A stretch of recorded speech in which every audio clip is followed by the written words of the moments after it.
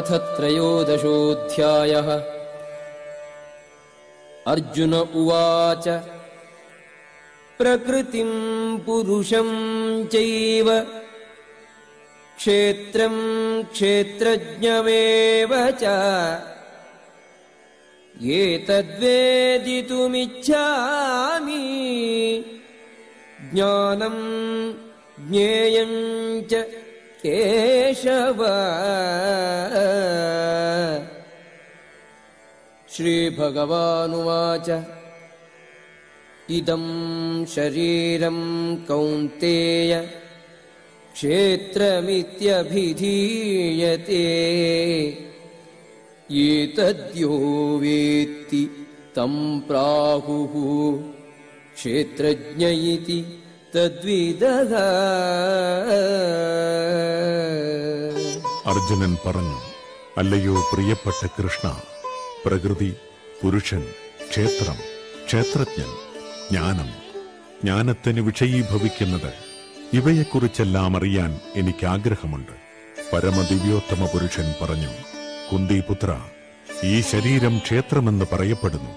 ഇതിനെ അറിയുന്നവൻ क्षेत्रज्ञम् चापि मां विद्धि स्वरूपक्षेत्रेषु भारत क्षेत्रक्षेत्रज्ञयोः ज्ञानं यत् तज्ज्ञानं मतं मम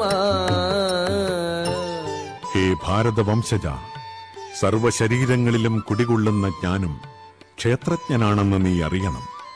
ഈ ശരീരമാകുന്ന ക്ഷേത്രത്തെയും ക്ഷേത്രജ്ഞനെയും കുറിച്ചുള്ള അറിവാണ് ജ്ഞാനം ഇതാണ് എന്റെ അഭിപ്രായം.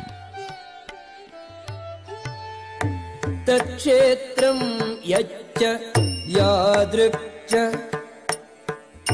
യദ്വികാരി യതശ്ച യത് स च यो यत्प्रभावश्च तत्समासेन मे शृणु ഈ കർമ്മക്ഷേത്രം അതിന്റെ ഘടന അതിന് നേരിടുന്ന മാറ്റങ്ങൾ അതിന്റെ ഉത്ഭവകാലം കർമ്മക്ഷേത്രങ്ങളുടെ ജ്ഞാതാവ് ജ്ഞാതാവിന്റെ സ്വാധീനത ഇവയെക്കുറിച്ചെല്ലാം ഞാൻ സംക്ഷിപ്തമായി പറഞ്ഞു തരാം ദയവായി കേൾക്കൂ ऋषिभिर्बहुधा गीतम् छन्दोभिः विविधैः पृथक्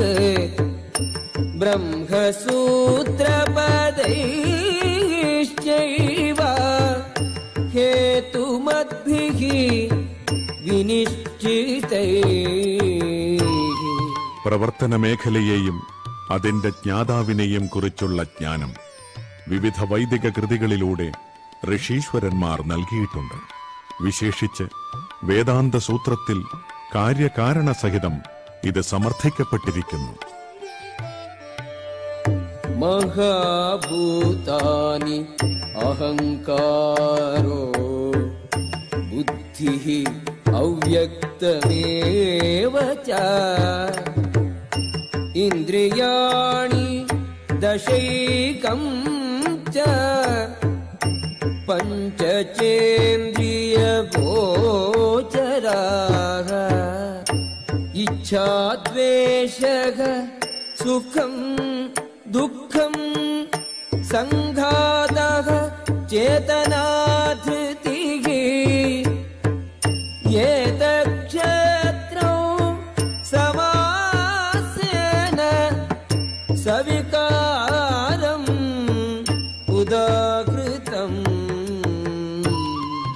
അഞ്ച് മഹാഭൂതങ്ങൾ. മിഥ്യാഹങ്കാരം ബുദ്ധി അവ്യക്തത പത്തിന്ദ്രിയങ്ങൾ മനസ്സ് അഞ്ചിന്ദ്രിയ വിഷയങ്ങൾ രാഗദ്വേഷങ്ങൾ സുഖദുഃഖങ്ങൾ സമദൃഷ്ടി ജീവലക്ഷണങ്ങൾ ദൃഢവിശ്വാസം എന്നിവയും ചുരുക്കത്തിൽ ക്ഷേത്രമായും അതിന്റെ പ്രതിപ്രവർത്തനങ്ങളായും വിവരിക്കപ്പെട്ടിട്ടുണ്ട്.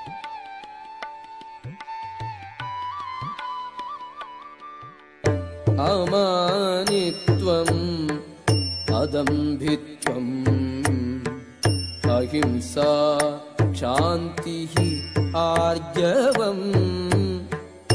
आचार्योपासनम् शौचम्। स्थैर्यम् आत्मविनिग्रहः। इन्द्रियार्थेषु वैराग्य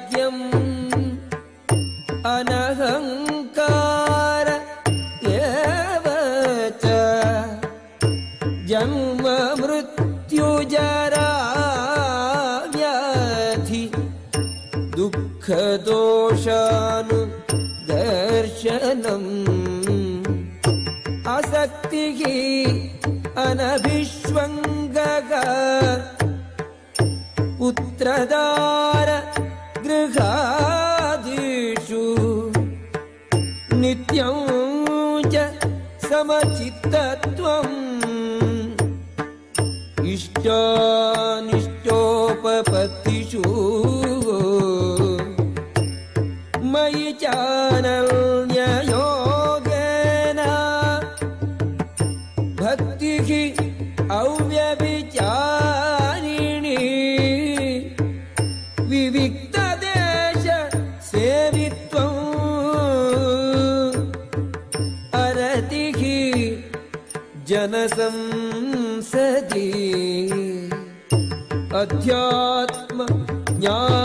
ज्ञाननित्यत्वम्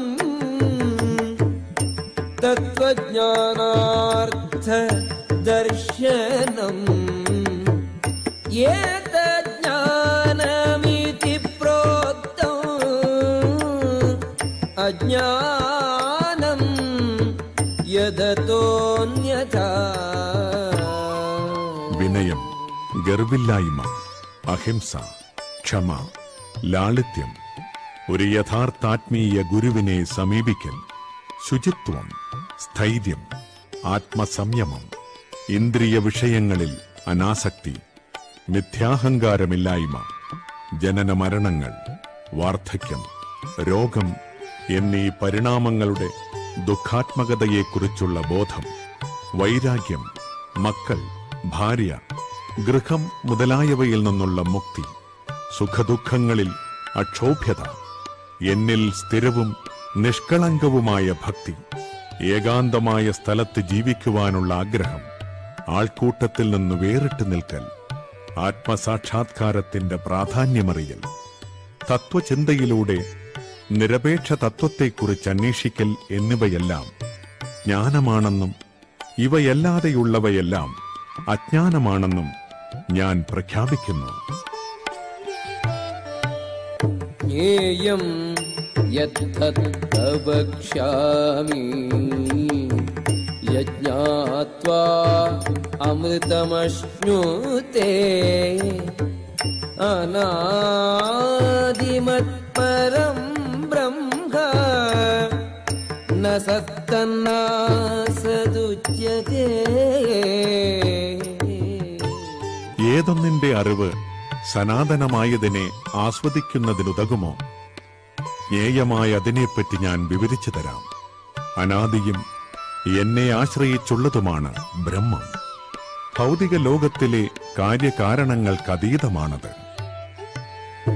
സർവത പാണിപാദം തത് സർവതോക്ഷിശിരോമുഖം.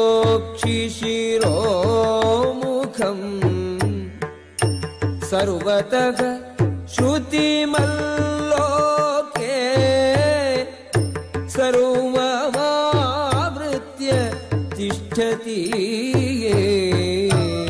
കൈകാലുകളും തലകളും മുഖങ്ങളും നേത്രങ്ങളും ചെവികളും എല്ലായിടത്തും വ്യാപിപ്പിച്ചുകൊണ്ട് പരമാത്മാവ് സർവവ്യാപിയായി സ്ഥിതി ചെയ്യുന്നു.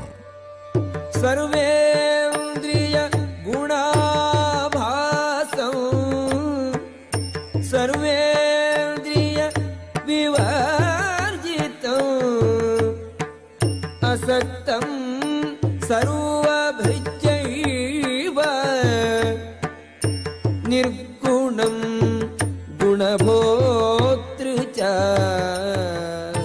സർവേന്ദ്രിയങ്ങളുടെയും ഉൽപ്പത്തി സ്ഥാനമാണ് പരമാത്മാവ്. എന്നിരുന്നാലും അവിടത്തേക്ക് ഇന്ദ്രിയങ്ങളില്ല. സകല ജീവജാലങ്ങളെയും നിലനിർത്തി പോരുന്നെങ്കിലും അനാസക്തനാണ്.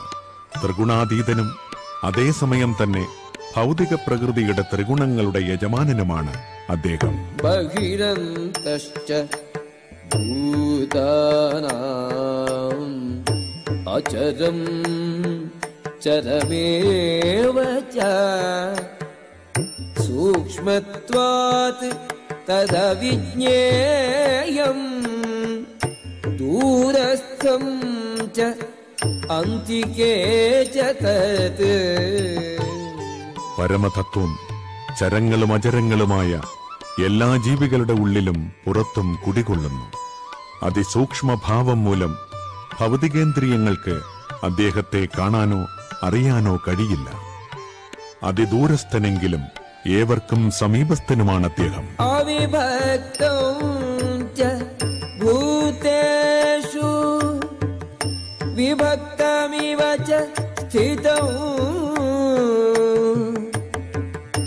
ഭൂതഭർത്തൃജ്ഞേയ സ്ഥിതം ഗ്രസിഷ്ണു പ്രഭവിഷ്ണു ഓരോ ജീവിയിലും വെവ്വേറെ കാണപ്പെടുന്നുവെങ്കിലും പരമാത്മാവ് അവിഭാജ്യനാണ്. ഏകനായി സ്ഥിതി ചെയ്യുന്നു. ഭൂതജാലത്തെ നിലനിർത്തുന്നതോടൊപ്പം സംഹരിക്കുകയും സൃഷ്ടിക്കുകയും ചെയ്യുന്നത് അദ്ദേഹമാണ് എന്ന് മനസ്സിലാക്കണം. ജ്യോതിഷാമപി തജ്യോതിഹി. തമസപരം പരം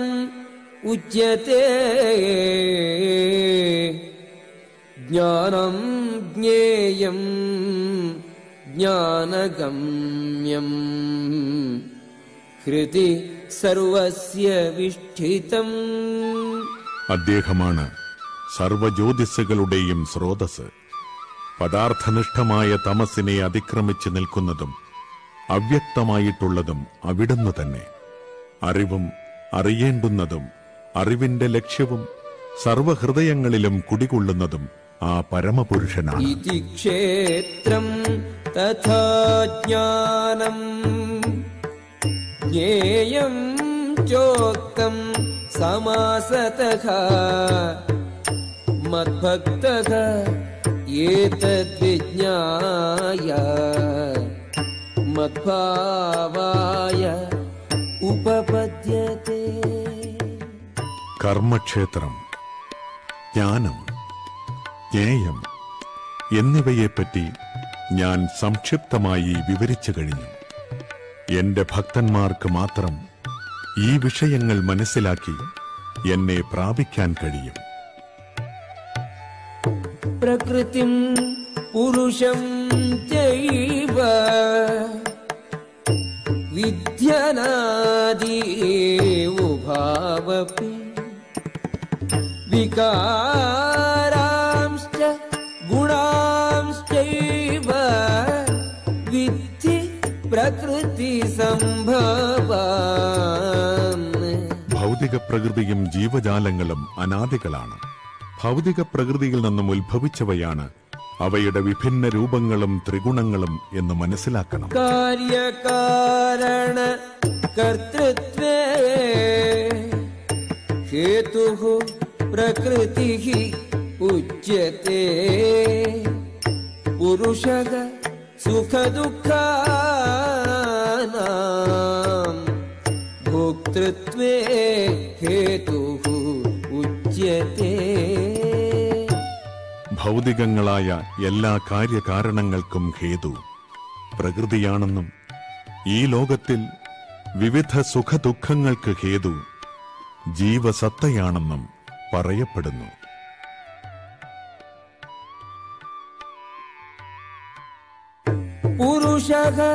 പ്രകൃതി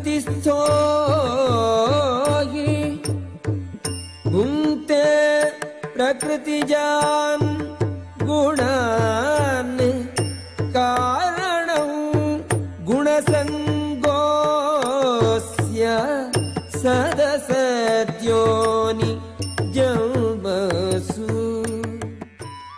ഭൗതിക പ്രകൃതിയിൽ ജീവാത്മാവ് പ്രകൃതിയുടെ ത്രിഗുണങ്ങൾ അനുഭവിച്ചുകൊണ്ടുള്ള ജീവിത രീതി കൈക്കൊള്ളുന്നു.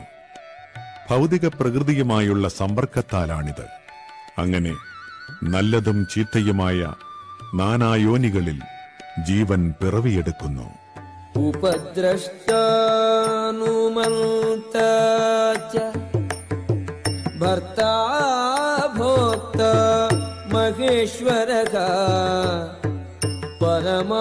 परमात्मेति चाप्युक्तो देहेऽस्मिन् पुरुषः परः ഇന്ദ്രിയാതീതനായൊരു ഭോക്താവുണ്ട് ഈ ശരീരത്തിൽ സർവാധിപതിയും ഉപദ്രഷ്ടാവും അനുമതിദായകനുമായ ആ പരമപുരുഷനെ പരമാത്മാവെന്ന് പറയുന്നു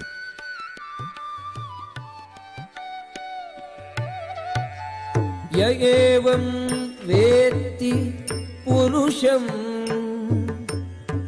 प्रकृतिं च गुणैः सह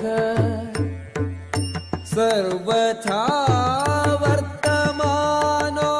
वर्तमानोऽपि न स भूयो अभिजायते ഭൗതിക പ്രകൃതിയെയും ജീവസത്തയെയും പ്രകൃതിയിലെ ത്രിഗുണങ്ങളുടെ അന്യോന്യ ബന്ധത്തെയും വിശദമായി അറിഞ്ഞവർക്ക് നിശ്ചയമായും മോക്ഷം ലഭിക്കും. ഇപ്പോഴത്തെ അവസ്ഥ എന്തായാലും ഈ ലോകത്തിലവർ വീണ്ടും ജനിക്കില്ല. ധ്യാനേനാത്മനി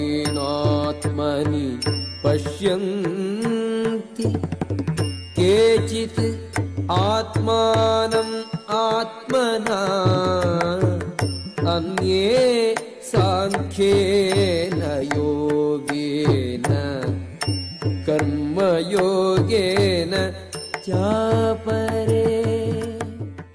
ചിലർ ധ്യാനം കൊണ്ട് പരമാത്മാവിനെ തങ്ങളിൽ തന്നെ കാണുന്നു. മറ്റു ചിലർ തത്വശാസ്ത്രപരമായ ചർച്ചകളിലൂടെയും ചിലർ നിഷ്കാമകർമ്മ യോഗം കൊണ്ടും പരമാത്മാവിനെ കണ്ടെത്തുന്നു അന്യേത്വേവം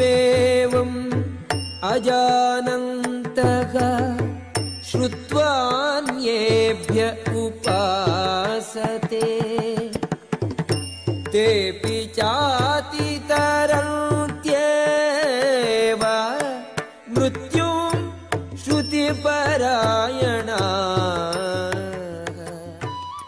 ഇനിയും ചിലരുണ്ട്.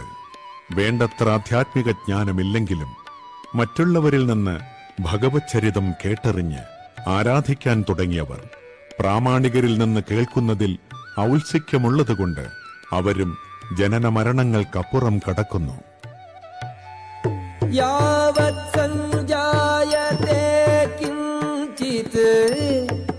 സത്വം സ്ഥാ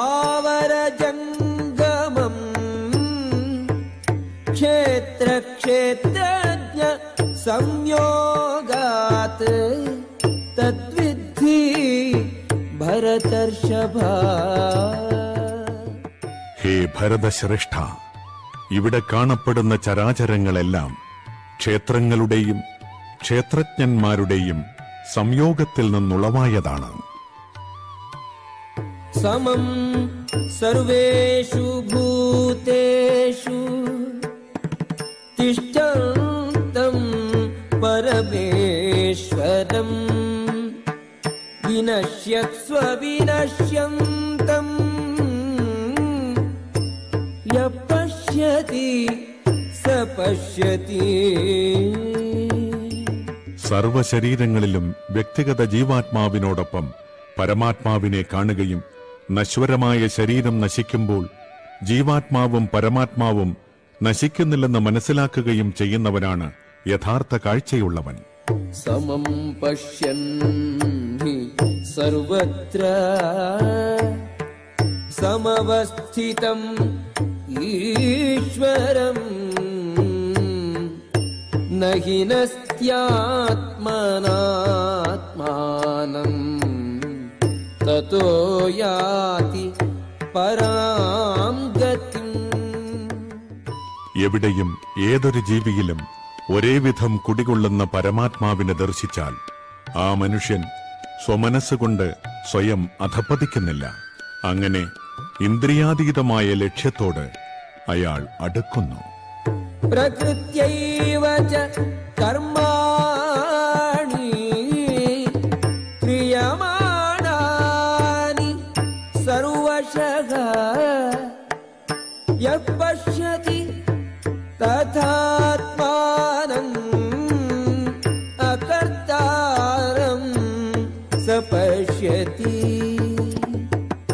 ഭൗതിക പ്രകൃതി സൃഷ്ടമായ ശരീരമാണ്. എല്ലാ പ്രവർത്തനങ്ങളും ചെയ്യുന്നതെന്നും ആത്മാവ് ഒന്നും ചെയ്യുന്നില്ലെന്നും അറിയുന്നവനത്രേ യഥാർത്ഥത്തിൽ ദർശിക്കുന്നവൻ. യഥാ ഏകസ്ഥം അനുപശ്യതി തതയേവ ച വിസ്താരം. ब्रह्म सम्पद्यते तदा വിവേകശാലിയായ ഒരു മനുഷ്യൻ ഭൗതിക ശരീരങ്ങളുടെ അടിസ്ഥാനത്തിൽ വിവിധ വ്യക്തിഭാവങ്ങളെ കാണുന്നത് നിർത്തുകയും ജീവജാലങ്ങളുടെ ആവിർഭാവങ്ങൾ എങ്ങനെയെന്ന് കാണുകയും ചെയ്യുമ്പോൾ അയാൾ ബ്രഹ്മധാരണയിലെത്തുന്നു अनादित्वात् निर्गुणत्वात् परमात्मायम् अव्ययः शरीरस्थोऽपि कौन्तेय न करोति न लिप्यते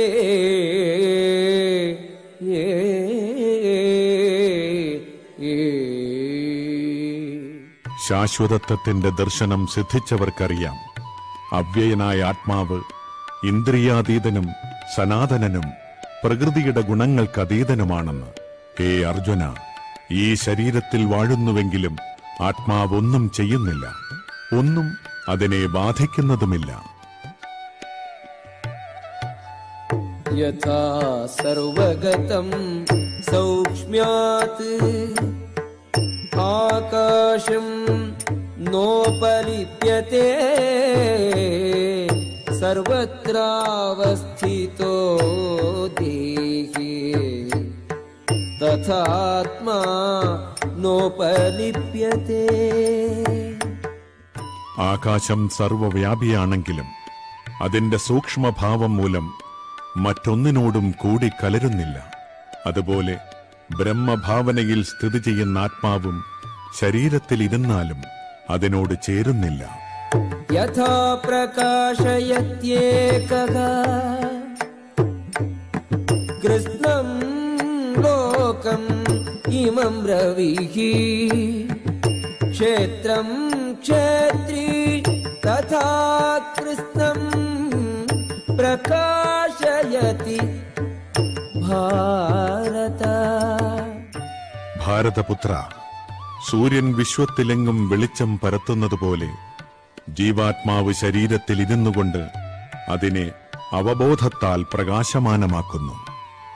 ക്ഷേത്രക്ഷേത്രജ്ഞയോ ഏവം അന്തരം ജ്ഞാനചക്ഷുഷാ. ഭൂതപ്രകൃതിമോക്ഷം ച യേ പരം ശരീരത്തിനും അതിനെ അറിയുന്നവനും തമ്മിലുള്ള വ്യത്യാസം എങ്ങനെയെന്ന് ജ്ഞാനദൃഷ്ടി കൊണ്ട് കാണാനും ഭൗതിക പ്രകൃതിയുടെ ബന്ധത്തിൽ നിന്ന് മുക്തി നേടാനുതകുന്ന പ്രക്രിയ എന്തെന്നറിയാനും കഴിവുള്ളവർ പരമപദം പ്രാപിക്കുന്നു. ശ്രീമദ്ഭഗവത്ഗീതാസു ഉപനിഷത്സു ബ്രഹ്മവിദ്യം യോഗശാസ്ത്രേ. श्रीकृष्णार्जुनसंवादे क्षेत्रक्षेत्रज्ञविभागयोगो नाम त्रयोदशोऽध्यायः